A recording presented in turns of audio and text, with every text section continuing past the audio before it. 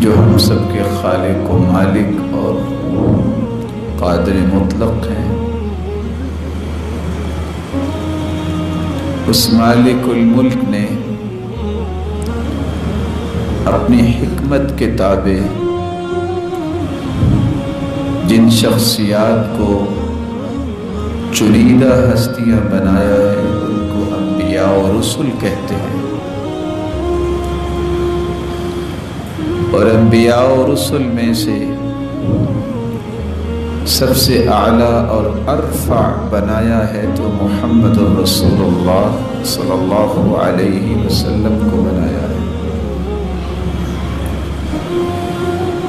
جس طرح یہ ہستی پوری کائنات سے اعلیٰ اور عرفہ ہے اس ہستی کی صحبت اور رفاقت حاصل کرنے بھی پوری کائنات سے اعلیٰ ہے۔ اور یہ ایسی ہستیاں ہیں جن کو صحابہ کرام کہا جاتا ہے کہ جن کا تذکیہ بھی اللہ نے خود بیان کیا اور انہیں جنت کی خوشخبری بھی خود سنائی۔ اور اپنے راضی ہونے کا سرٹیفکیٹ بھی خود ہی عطا کیا اللہ تعالیٰ نے ہی صرف انہیں جنتی نہیں کہا، بلکہ رسول اللہ صلی اللہ علیہ وآلہ وسلم نے ان ہستیوں کے بارے میں ویسے تو بہت خوبصورت باتیں بتائی ہیں، جن میں تین باتیں یاد رکھنے والی ہیں سب سے پہلی بات، جب تک صحابہ کرام، تابعین عظام اور طبع تابعین دنیا میں رہیں گے، لوگوں اس وقت تک دنیا میں خیر اور برکت رہے گی۔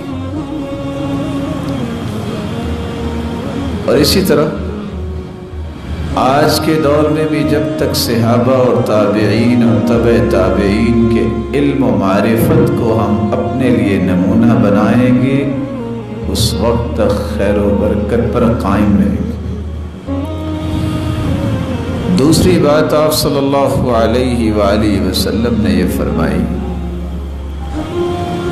کہ کائنات کے اندر سب سے بہترین لوگوں کے بارے میں سوال کرنے والے، تیرے سوال کا جواب یہ ہے، خیر القرون قرنی ثم الذین یلونہم، ثم الذین یلونہم۔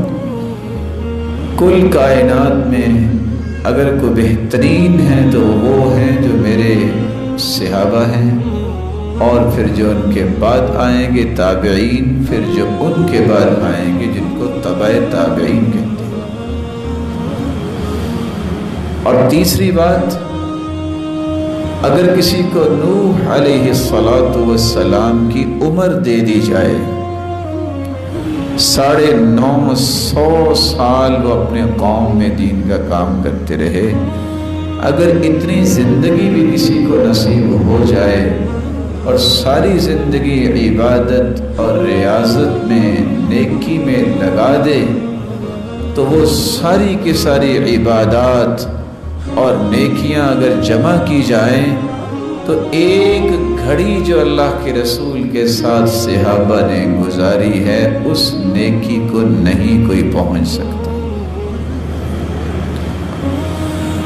اسی لیے تو اللہ حضر جلال نے قرآن مجید میں اس بات کو بیان کیا ہے کہ یہ ہستیاں ایسی ہیں، ان کا صرف قرآن میں تذکرہ نہیں، ان کی نشانیاں تورات میں بھی آئی ہیں اور انجیل میں بھی ان کی مثالیں بیان کی گئی ذَلِكَ مَثَلُهُمْ فِي التَّوْرَاتِ وَمَثَلُهُمْ فِي الْإِنجِيلِ ابھی یہ دنیا میں آئے نہیں تھے۔ یہودیوں اور عیسائیوں کو اس بات کی خبر دے دی گئی تھی کہ ایسی ہستیاں آنے والی ہیں۔ ان مبارک ہستیوں میں سے صرف ایک ہستی کے متعلق آج ہم گفتگو کرنے جا رہے ہیں۔ یہ وہ ہستی ہے جس نے اللہ کی توفیق کے ساتھ بائیس لاکھ مربع میل کو فتح کیا۔ حالانکہ سات پشتوں تک کوئی بھی ان کا باپ، دادا کوئی باشتہ نہیں گزرا۔ لیکن یہ وہ ہستی تھی جس نے اسلام کو قبول کیا۔ تو اللہ حضر جلال نے اتنی مسلمانوں کو برکت دی۔ یہ خود اونٹ چرانے والا، بلکہ وہ کہا کرتے تھے، عمر یاد ہے تمہیں تیرا باپ تجھے لٹا کے مارا کرتا تھا؟ تجھے تو اونٹ چرانے بھی نہیں آتے تھے۔ آج اسلام نے تجھے عزت دی ہے، تجھ سے کیسر و کسرا بھی ڈرتا۔ ہے اور یہ حقیقت تھی کہ کیسر و کسرا ڈرتے ہی نہیں تھے، بلکہ وہ ایک دوسرے کو کہتے تھے اپنے ہواریوں کو، ذرا پتہ تو کرو یہ عمر ہے کون؟ انہو قد اکل کبیدی، اس کے خوف نے تو میرا کلیجہ کھا لیا ہے۔ روم جیسی سلطنت کا بادشاہ اس ہستی کے بارے میں یہ کہتا نظر آتا ہے۔ کوئی مستقل فوج نہیں تھی۔ صحابہ کرام اپنے ساتھیوں کو ہی تیار کیا۔ اور جب تک دس سال تک خلافت کی ہے، کبھی کسی نے بغاوت نہیں کی۔ حالانکہ سیف من سیوف اللہ خالد بن ولید رضی اللہ تعالیٰ عنہ کو معذول بھی کر دیا۔ تو خالد بن ولید سب سے پہلے آئے ہیں تو عمر کے پاس آئے ہیں۔ اور آ کے کہتے ہیں، پہلے بھی میں اللہ کے لیے لڑتا تھا، آج کے بعد بھی میں اللہ کے لیے لڑوں گا۔ امیر المؤمنین حکم فرمائیے، اگلی میری ڈیوٹی کیا ہے؟ یہ وہ ہستی ہے کہ جن جن علاقوں کو اس ہستی نے فتح کیا، آج بھی وہاں اسلام کا نام لیا جاتا ہے۔ یہ وہ ہستی ہے جس نے جو سسٹم وضع کیا دنیا کے لیے، اس سسٹم کو آج بھی اپلائی کیا جاتا ہے۔ یہ ہجری سال کا سسٹم سیدنا عمر رضی اللہ تعالیٰ عنہ کے دور میں شروع ہوا۔ یہ مجرموں کے لیے جیل خانہ جات، یہ اسی ہستی نے بنائے۔ یہ ڈاک کا نظام کے مسلمانوں کو کوئی پریشانی نہ ہو، یہ اسی ہستی کا ہی کریٹ کیا ہوا نظام۔ یہ مسلمانوں کے لیے کام کرنے والوں کے لیے وظائف کا اجرا، یہ اسی ہستی کا ہی نظام ہے۔ یہ کڑے احتساب کا محکمہ جو ہے سیدنا عمر رضی اللہ تعالی عنہ کا ہی بنایا ہوا نظام. یہ جوڈیشری کا مضبوط نظام آج بھی دنیا کے خطوں میں موجود ہے. یہ اسی ہستی کا ہی لاگو کیا ہوا ہے. راتوں کو خلیفہ، بادشاہ حکمران گشت کرتے، یہ نظام بھی رعایا کی دیکھ بھال کے لیے اس ہستی نے خود شروع کیا۔ مجرموں پہ روک اور مجرموں کو جرم سے روکنے کے لیے پولیس کے محکمے کو مضبوط کرنا اور فوجی چھاونیوں کو بنوانا، یہ بھی اسی ہستی کا کام ہے۔ یہ آبپاشی کا نظام کے پانی کو ضائع نہ کیا جائے اور مسجدیں بے رونق نہ ہو اس میں روشنی کا بندوبست کرنا۔ اور اسی طرح جو اذان کے لیے وقت نکالنے والے ہیں اور دودھ پینے والے بچے اور وہ معذور جو کام نہیں کرتے ان سب کے وظائف بیت المال سے مقرر کرنے کا نظام بھی کسی ہستی نے شروع کیا تھا۔ بلکہ بیوگان جن کے خامد دنیا سے چلے جاتے ہیں اور ان کے بچوں کی ذمہ داری ان عورتوں کے کندھوں پہ آن پڑتی ہے، ان کا مستقل وظیفہ بیت المال سے جاری کرنے والا یہی وہ قتل اور بہادر تھا۔ جس جیسا بہادر انسان اللہ کے رسول صلی اللہ علیہ وسلم کی امت میں سے چشم فلک میں کسی کو نہیں دیکھا۔ یہ کون سی ہستی ہے جس نے مشرق میں دریائے جیہون اور دریائے سندھ سے لے کر مغرب تک، افریقہ کے صحراؤں تک، شمال میں کوچک کے پہاڑوں تک اور آرمینیا سے لے کر جنوب میں بحر القاہل تک یہ سارا فتح کیا اس ہستی کا نام ہے عمر بن الخطاب رضی اللہ عنہ و یہ قیصر و کسرا کا فاتح انسان ہے، جس کو اللہ حضر جلال نے کتنا مقام دیا۔ یہ بنو عدی کے چشم و چراغ، فاروق کا لقب پانے والے، جن کی آمد سے حق و باطل میں فرق ہو جاتا۔ کعب بن لؤئی اس شخص پر نبی کریم صلی اللہ علیہ وسلم کے نصب نامے پہ ان کا نصب نامہ جا ملتا ہے۔ عام الفیل جب بیت اللہ پہ حملہ ہوا ابرہ نے کیا، اس سے تیرہ سال بعد یہ پیدا ہونے والا انسان اور رسول اللہ صلی اللہ علیہ وسلم کی نبوت کا بھی چھٹا سال تھا۔ سیدنا حمزہ ابھی تین دن پہلے مسلمان ہوئے تھے اور ستائیس سال کا یہ گبرو جوان اسلام کی نعمت سے سرفراز ہوا اور اس نے اسلام کو جب قبول کیا تو یہ وہ انسان دنیا کے نقشے پہ، اسلام کے نام پہ اس طرح ابھرا کہ اس وقت کے کافر جو اپنے آپ کو رستم کہا کرتے تھے کہ بہت بہادر ہیں عمر رضی اللہ تعالی عنہ کا نام لے کے کام جایا کرتے تھے۔ اور ایسا ہی ہوا کہ دنیا کفر کا نام مٹایا ہے، تو اسی ہستی سیدنا عمر رضی اللہ تعالی عنہ نے مٹایا ہے۔ آج اس ہستی کی زندگی کے چند پہلو اور اس سے ملنے والے اسباق میں آپ کی خدمت میں پیش کرنا چاہتا ہوں۔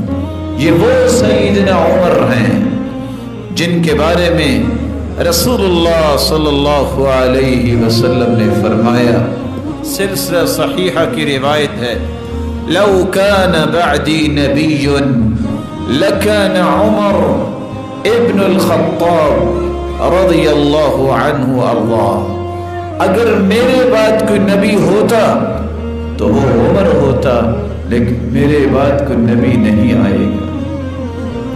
رسول اللہ صلی اللہ علیہ وسلم کے صحابی سیدنا علی رضی اللہ عنہ فرمایا کرتے تھے، سلسلہ صحیحہ کی روایت ہے کہ میں اللہ کے رسول صلی اللہ علیہ وسلم کے پاس تھا۔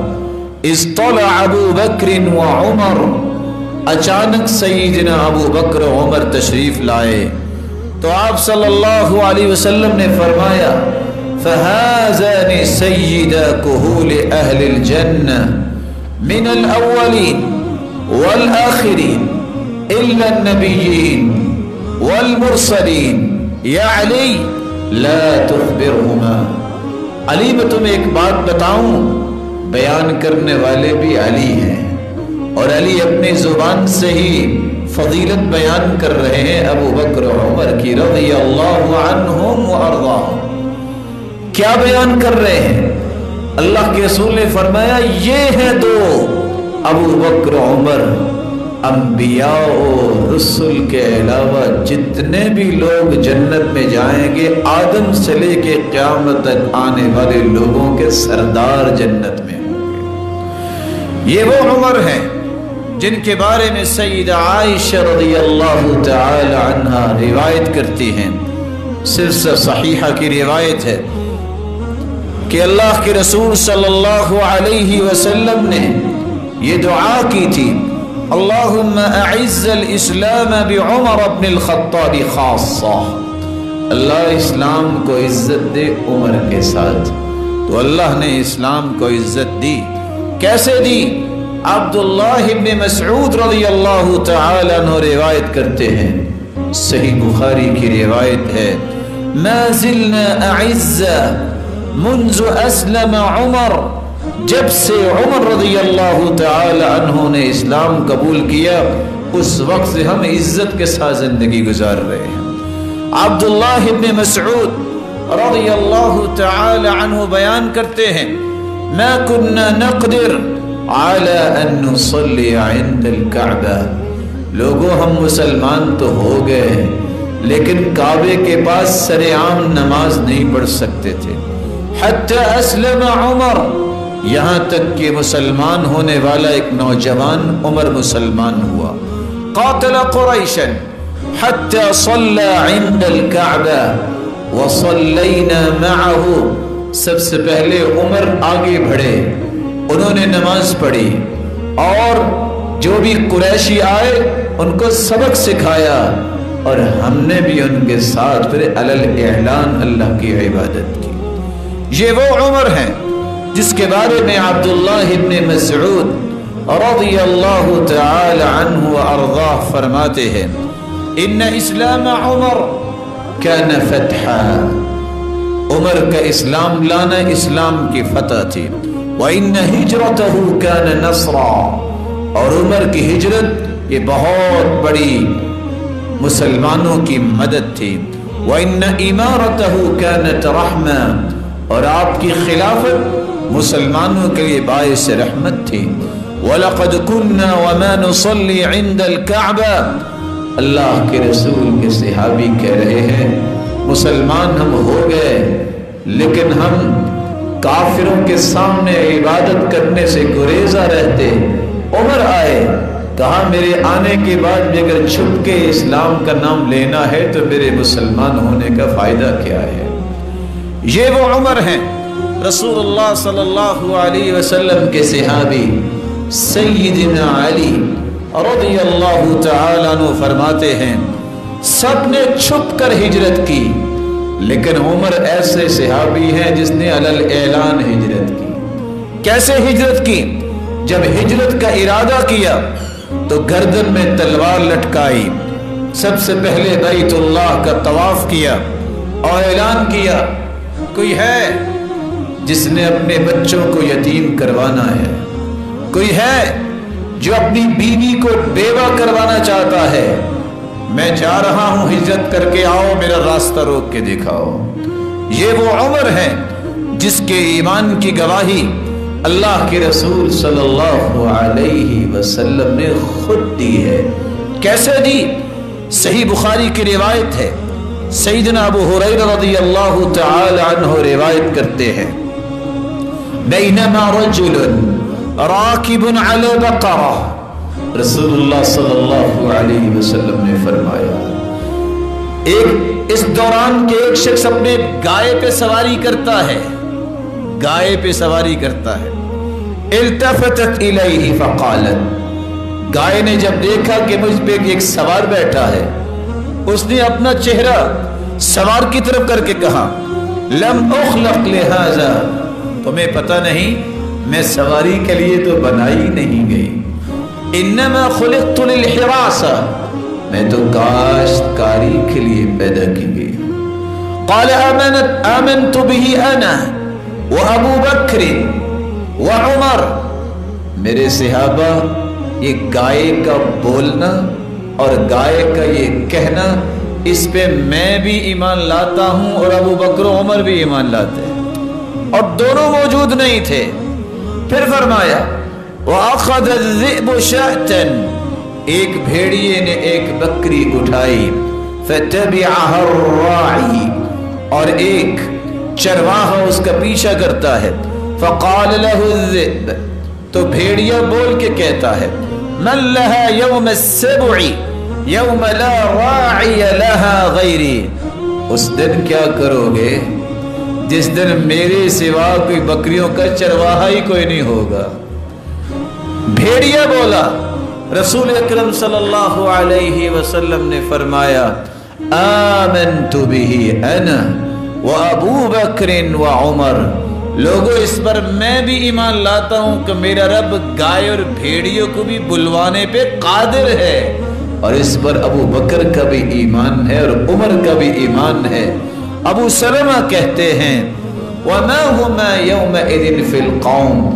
جن صحابہ کو یہ باتیں بتائی جا رہی تھی، وہاں ابو بکر و عمر بیٹھے ہوئے نہیں تھے۔ لیکن ان دونوں کی گواہی کہ جس طرح میرا ایمان ہے اس طرح ابو بکر و عمر کا ایمان ہے، یہ گواہی اللہ کے رسول صلی اللہ علیہ وسلم نے خود دی۔ یہ تیئیس سو چوبیس نمبر سے بخاری کی روایت کتنا بڑا پیغام ہے ان لوگوں کے لیے جن کو بھول ہو گئی، جو ان ہستیوں کے دشمن بن بیٹھے اور جس کی صداقت و ایمان کی گواہی اللہ کے پیغمبر دے دے ان کے بارے میں کسی کو شک کیسے ہو سکتا ہے؟ ہوگا شک، اس کو ہی جس کے ایمان میں شک کیا جا سکتا ہے۔ رسول اکرم صلی اللہ علیہ وآلہ وسلم کے صحابی بیان کرتے ہیں، صحیح بخاری کی روایت ہے۔ بینا انا نائم، میں سویا ہوا تھا۔ رأیت الناس عرضوا علی وعلیہم قمص۔ لوگ مجھ پہ پیش کیے گئے۔ میں نے دیکھا کہ ان لوگوں میں سے ہر ایک نے قمیص پہنی ہوئی ہے۔ فَمِنْهَا مَا يَبْلُغُ السُّدَيْ، کسی کی قمیض اس کی چھاتی تک ہے۔ وَمِنْهَا مَا يَبْلُغُ دُونَ ذَلِكَ، کسی کی قمیض تھوڑی سی اور لمبی ہے۔ وَعُرِضَ عَلَيَّ عُمَرُ، وَعَلَيْهِ قَمِيصٌ۔ جب عمر میرے پاس آئے خواب میں، تو عمر نے قمیض ایسی پہنی ہوئی تھی۔ اجترہو کہ اتنی لمبی قمیض تھی کہ اس کو گسیٹ رہے تھے۔ قالوا فما اولتہو یا رسول اللہ اللہ کے پیارے پیغمبر، خواب تو آپ نے بتا دی، اس کی تعبیر کیا ہے؟ تو سید المرسلین نے فرمایا، الدین، اس کی تعبیر یہ ہے، اتنا سر سے پاؤں تک دین کا، دین سے لبریز اگر ہے تو سیدنا عمر ہے۔ اور اتنا ہی بڑا وہ کام کریں گے اور کر کے گئے۔ رسول اللہ صلی اللہ علیہ وآلہ وسلم کے صحابی عمر بن عاص رضی اللہ تعالی عنہ، جو بیان کرتے ہیں کہ میں نے جب آپ صلی اللہ علیہ وسلم سے ملاقات کی، صحیح بخاری کی روایت ہے۔ تو مجھے محسوس ہوا کہ کائنات میں سب سے زیادہ اللہ کے رسول کو مجھ سے محبت ہے۔ کیونکہ آپ کی ایک ملاقات بھی زندگی بھر بھولتی نہیں تھی۔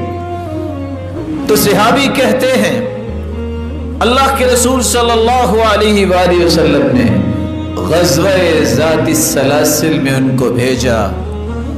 میں نے وہاں اللہ کے رسول صلی اللہ علیہ وسلم سے ایک سوال کر دیا۔ ذرا پتہ تو کروں کہ کتنی میرے ساتھ محبت ہے۔ میں نے سوال کیا ای الناس احب الیک؟